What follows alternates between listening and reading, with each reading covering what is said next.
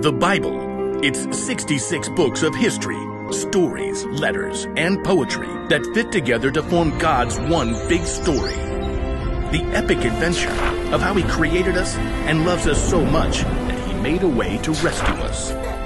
As we travel through the Bible, from Genesis to Revelation, we discover people who met God and found their lives changed forever.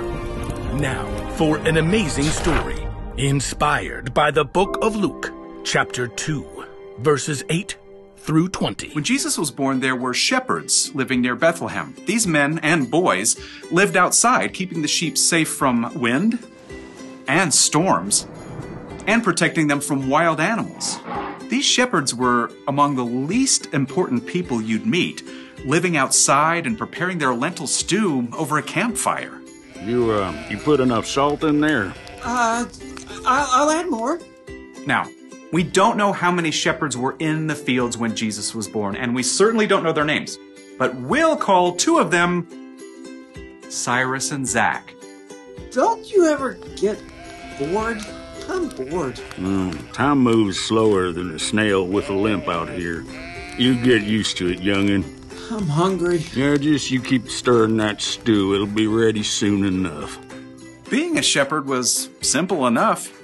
Keep your eyes open. For what? Number one, wolves. Number two, thorny brambles. Number three, ditches and ravines. That's it? That's it. I'm still bored. At that very moment, the shepherds were nearly blinded by a brilliant light. Mutton and mashed turnips. What is that? A brilliant angel appeared, towering before the shepherds. Do not be afraid. I bring you good news. It will bring great joy for all the people. The shepherds gaped, unable to say a word. It seemed impossible that an angel would appear to lowly men like them. Today in the town of David, a Savior has been born to you. He is the Messiah, the Lord. Here is how you will know I am telling you the truth. You will find a baby wrapped in strips of cloth and lying in a manger. The shepherds were just beginning to get their breath back when suddenly it seemed like all of heaven opened up. A full angel choir appeared, filling the sky.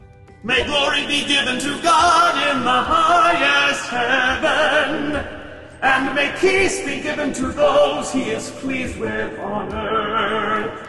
Then, just as quickly as they had appeared, the angels returned to heaven. The sky dimmed. Stars twinkled faintly once more. The shepherds stood staring at each other, their mouths hanging open. Huh. Are you bored now, youngin'? No. Well, then let's do this. Uh, we could just go to Bethlehem, leave the sheep. Number one, let's see this thing that's happened. Number two, especially since the Lord saw fit to tell us about it. Number three, get moving. Yippee! The shepherds hurried to Bethlehem, not stopping for rest until they saw a light glowing on the edge of town. There. Breathless, the shepherds knocked on the door. Boom, boom, boom, boom. A woman opened it. She looked tired, but her face was glowing. Ma'am, um, we've come to see the baby. The baby?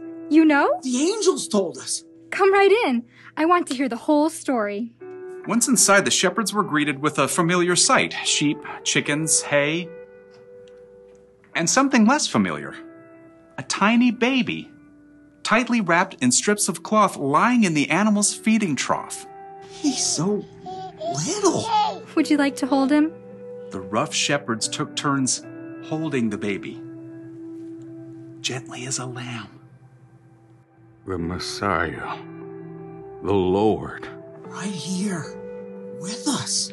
When the shepherds finally left, dawn was breaking over the hills. The little town of Bethlehem was waking up. Praise God. he sent a Savior, a Messiah. Just a tiny baby now, but he's gonna make peace for all of us. Everywhere. Everyone who heard what the shepherds said was amazed, and Mary kept everything that had happened in her heart to think about over and over.